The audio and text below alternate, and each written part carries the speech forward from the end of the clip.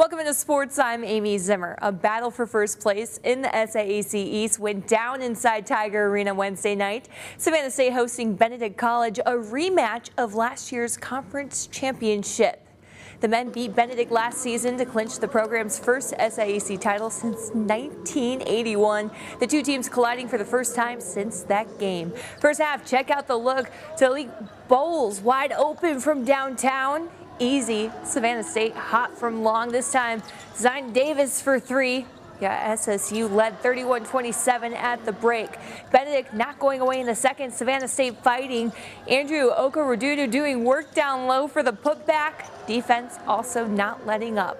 Larson Ashford on the steal. He's playing smart for the points. Takes this one down low. This one coming down to the final seconds. Savannah State on top 58 to 54.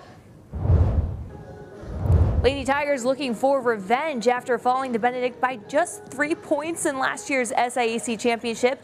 Home team dominated the first half 41 to 22, not letting up in the second. How about that fake by Tigers? Josiah Jones for two. SSU with a 15 point lead into the fourth.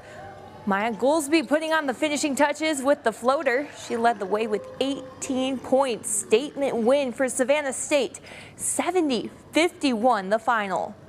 A lot of emotions going into this game. You know, Coach Rice was one of my students at Benedict. I worked at Benedict, so it's always one of those emotional games playing them. But you don't want to get too high, you don't want to get too low. Stay even keel, but it's always a great, great game playing Benedict and bring the best out of both.